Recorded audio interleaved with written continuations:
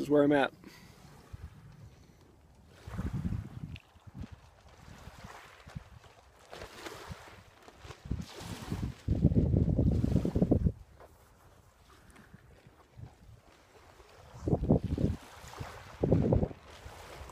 Hope you enjoyed the tour.